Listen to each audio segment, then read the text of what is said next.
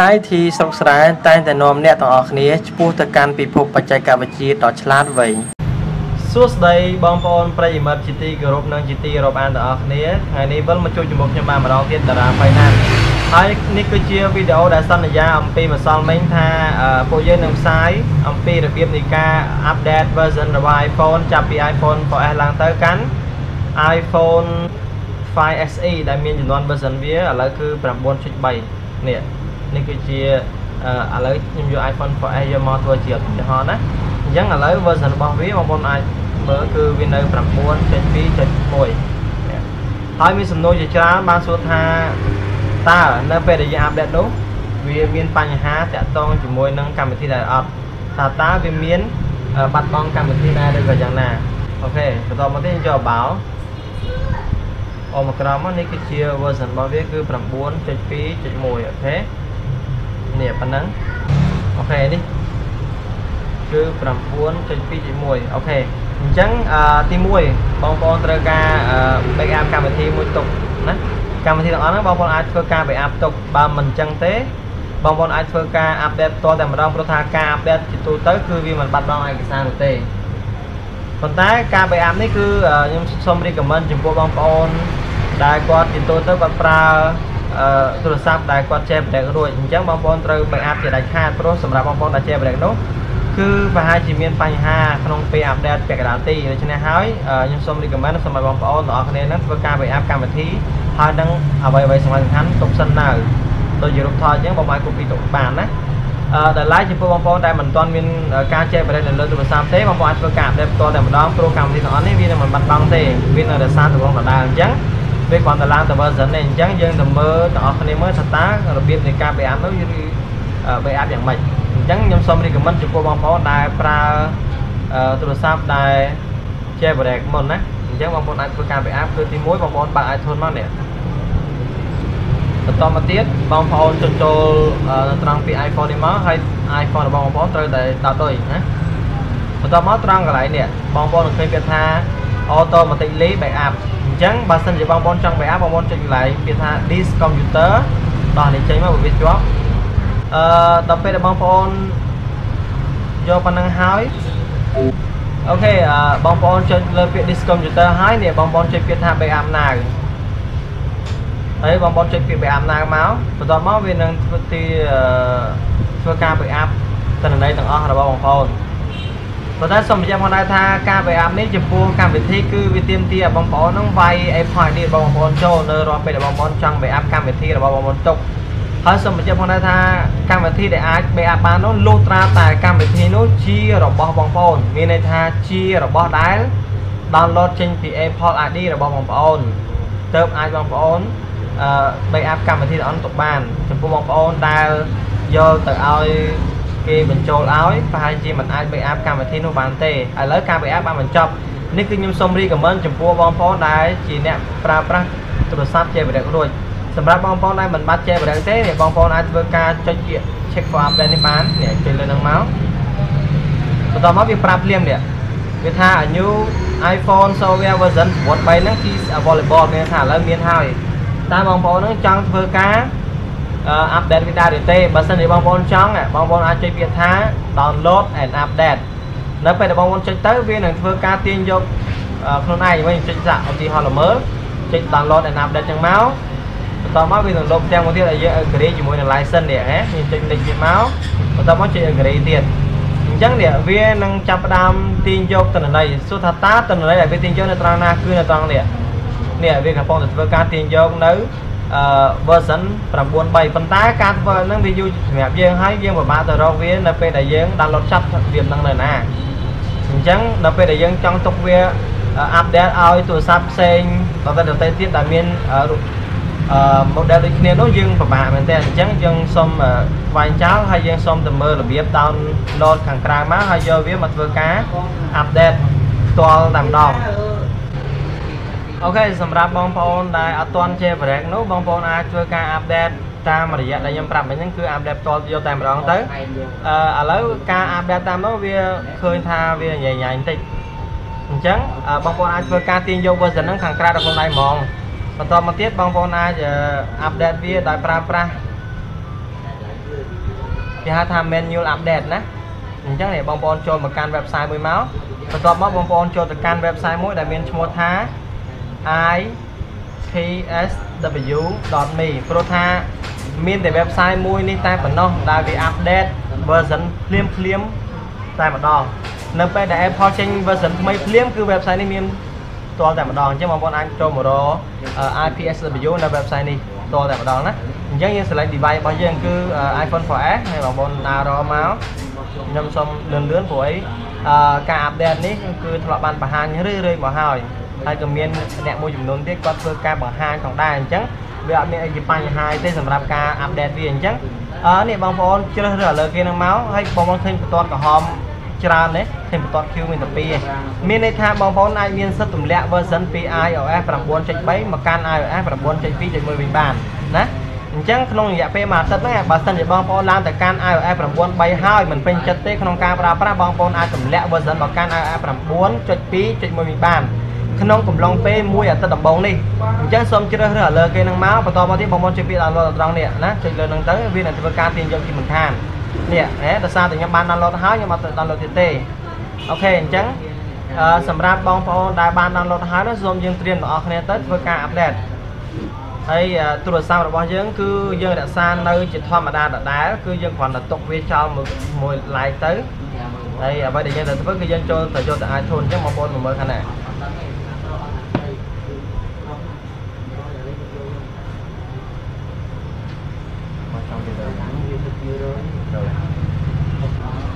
អូខេ បងប្អូនបើក iPhone មកខ្ញុំសុំបរុំបន្តិច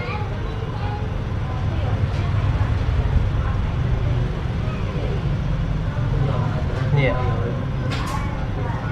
អញ្ចឹងបងប្អូន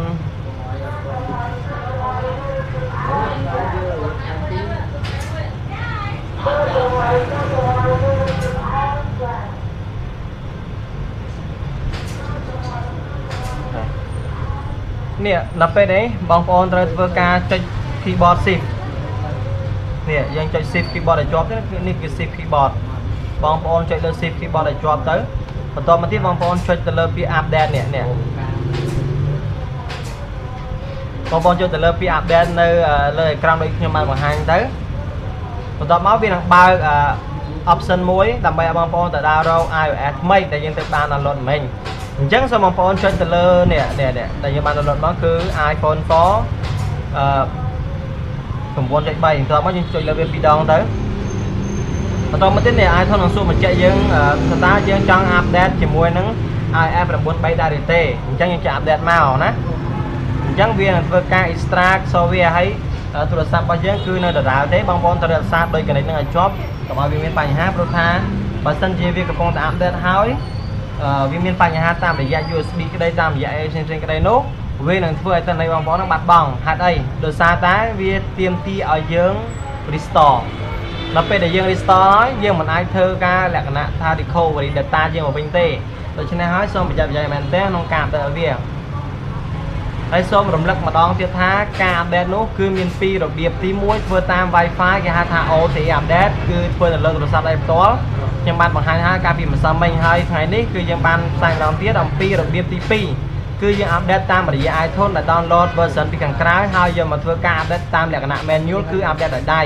និងមួយទៀតគឺដូចខ្ញុំបានបង្ហាញមកនោះដែរគឺគេហៅថា automatic update គឺមានន័យថាឲ្យ iTunes ជាអ្នកកំណត់នៅកម្មវិធីហើយឲ្យវាទាញយកនៅ version ឲ្យវា update ដោយខ្លួនឯងប៉ុន្តែការធ្វើបែបនេះយើងរងចាំប្រហែលជា3 4ម៉ោងតែស្អីដោយសារតែការទាញយក version ពីខាង server មកហ្នឹងវា ច្រើនតង់ដូច្នេះហើយការទាញវាមានការយឺតបើសិនជាបងប្អូនអាចទាញតាមនេះមកគឺអត់អីទេអូខេឥឡូវយើងចុចពី apply មកនៅលើអេក្រង់ហើយយើងរងចាំបន្តិចវាកំពុងតែប្រៀបធៀបដូចបងប្អូនបានឃើញហើយអូខេពេល update មួយទៀតរងចាំបន្តិចឥឡូវ iPhone របស់យើងនៅធម្មតាទេអត់តមានអីកម្រើកទេ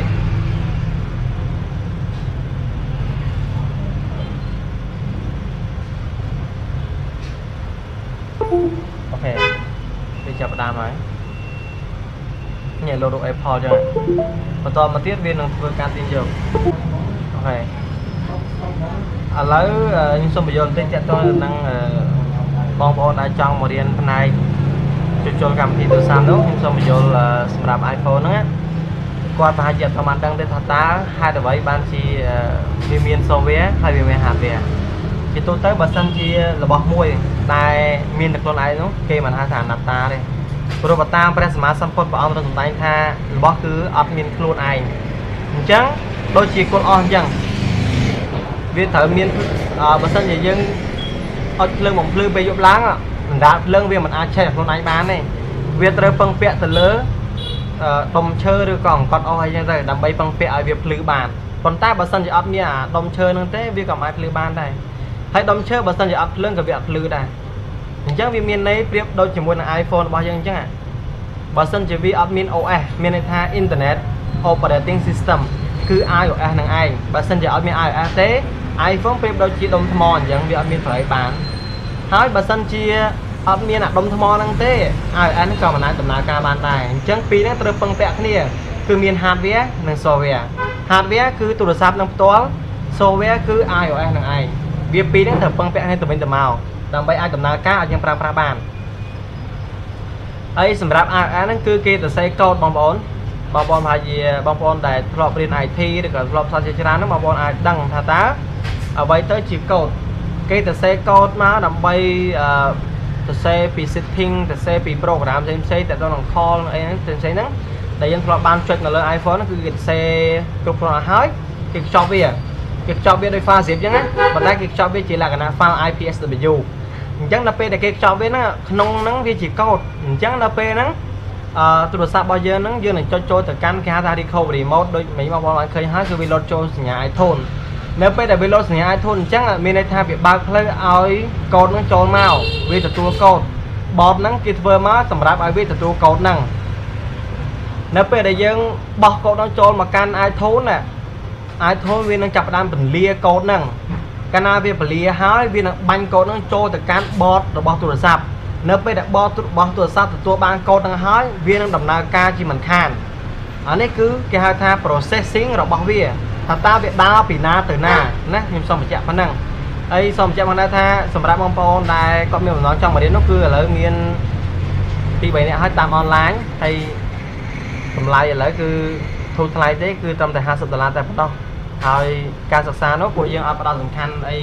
ច្រើនអីទេសម្រាប់បងប្អូនដែលរៀនវគ្គពិសេសនេះគឺតម្លៃត្រឹមតែ50ដុល្លារហ្នឹងគឺយើងតាក់ទងជាមួយនឹង iPhone លម្អិតហ្មងជាមួយនឹង iPhone Samsung Sony ហើយនិង LG 4ម៉ាកហ្នឹងគឺយើងលំបាត់ហើយហើយសម្រាប់បងប្អូនដែលចង់រៀន full តែម្ដងគឺតម្លៃធម្មតាគឺ120ដុល្លារអញ្ចឹងឥឡូវការដំណើរការនៃកូដដែលខ្ញុំបានបញ្យល់មានថាវាបាញ់កូដនឹងចូលទៅហើយនោះ គឺវាកំពុងតែចាប់ផ្ដើមអញ្ចឹងយើងរងចាំវាបន្តិចបន្តួចទៅដើម្បីឲ្យវា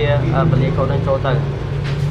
ការអាប់ដេតឬក៏ការ restore ហ្នឹងជាទូទៅវាចំណាយរយៈពេលប្រហែលជា5ឬក៏អាចដល់10នាទីហើយបងប្អូនត្រូវដឹងថានៅពេលដែលបងប្អូនអាប់ដេតឬក៏ restore អីហ្នឹង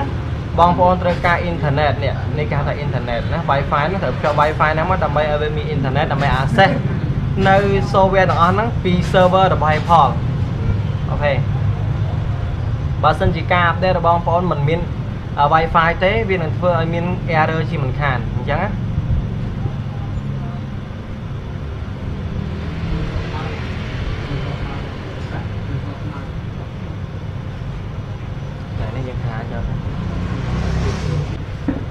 អូខេឥឡូវការ update របស់យើងបានបញ្ចប់ហើយយើងកំពុងតែធ្វើការ reboot ទូរស័ព្ទរបស់យើងខ្ញុំសូមបិទអាខាង iPhone ខ្ញុំសូមបើកអេក្រង់ iPhone តែម្ដងបន្ទាប់មកយើងនឹងធ្វើការ activate វាហើយការ activate ហ្នឹងបងប្អូនត្រូវការ SIM មួយមកហើយត្រូវការអ៊ីនធឺណិតបើមិនអត់អ៊ីនធឺណិតទេវាអត់ទៅមុខដែរអញ្ចឹងនៅពេលនេះបងប្អូនអាចធ្វើការដោះដូរនឹងបានគេ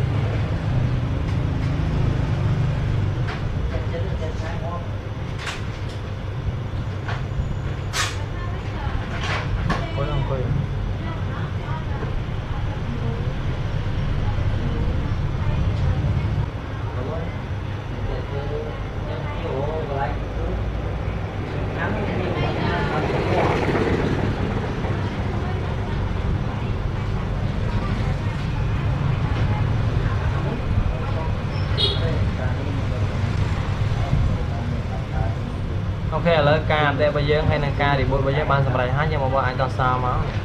ដោះសារមកបន្តមកទៀតចុច continue តែម្ដងបន្តមក like passcode យើងអត់ដាក់ទេយើងយក don't add passcode ណាចុងក្រោយគេ continue បន្តមកវាជាប់លេខកូដយើងអត់យកទេយើង skip skip មក skip វាមកអាប់ដេតអូខេ ដោយសារតែនេះគឺជាការអាប់ដេតអញ្ចឹងវាអត់ធ្វើការ activate មួយសារទេទេអញ្ចឹងមិនដាក់ស៊ីមក៏បានដែរប៉ុន្តែសម្រាប់បងប្អូនដែលគាត់ធ្វើការ install ឯនោះអញ្ចឹងបងប្អូនអាចត្រូវធ្វើការចាក់ស៊ីមនេះដាក់ស៊ីមនៅត្រង់នេះហើយបើក Wi-Fi អញ្ចឹងមកបើគេដើរអូខេនេះគឺជាកម្មវិធីដែលយើងមានហើយឥឡូវវានៅទាំងអស់ទេប៉ុន្តែវាឡើង iOS មានថាវាឡើង version វាទៅរក general មក about នេះ iOS គឺ9.3ហ្នឹងបងប្អូនអូខេអរគុណចំពោះការទស្សនាជួបគ្នានៅវីដេអូក្រោយៗទៀតពីខ្ញុំបាទតារា Finance